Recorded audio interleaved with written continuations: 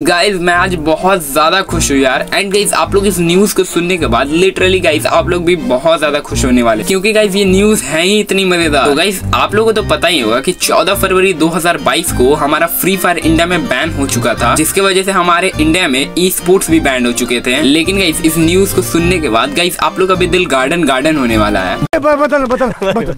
बताता हूँ यार, रुको जरा, सबर करो। तो गई बात है कुछ दिन पहले की। हमारे गरीना फ्री फायर के सीईओ आए थे इंडिया और गई उन्होंने उत्तर प्रदेश के सीएम के साथ, यानी कि योगी आदित्यनाथ जी के साथ मीटिंग की थी। एंड गई उस मीटिंग में उन्होंने एक एग्रीमेंट साइन किया, जिसमें गाइज़ हमारा ई स्पोर्ट्स रिटर्न आ रहा है गाइज़ मतलब गाइज़ हमारा ई स्पोर्ट्स वापस आ रहा है, और गाइज़ हमारा फ्री फायर भी। अब देखो गाइज़ हमारे फ्री फायर को इंडिया में बैन किया गया था पर्सनल इश्यू की वजह से डाटा चोरी और प्राइवेसी की वजह से। लेकिन गाइज़ अब ऐसा कुछ भी नहीं होने वाला है। क्योंकि गाइज़ गरीना और इंडियन गवर्नमेंट के बीच में एग्रीमेंट साइन हो चुका है। एंड गाइज़ हमारा e sports tournament free fire सभी कुछ रिटर्न में आने वाले हैं। और गाइज़ बात करें तो इसकी डेट की तो गाइज़ 10 अगस्त, यानी कि हमारे ओबी 41 अपडेट के बाद फ्री फायर हमारे इंडिया में वापस आ जाएगा। और गई इतनी अच्छी न्यूज़ सुनाई है यार तो इसके लिए एक लाइक और एक सब्सक्राइब तो बनता नहीं है और गाइज़ आज की वीडियो आप लोगों को कैसी लगी, मुझे कमेंट बॉक्स में बताना। मिलते हैं किसी नेक्स्ट वीडियो में, तब तक के लिए बाय गाइज़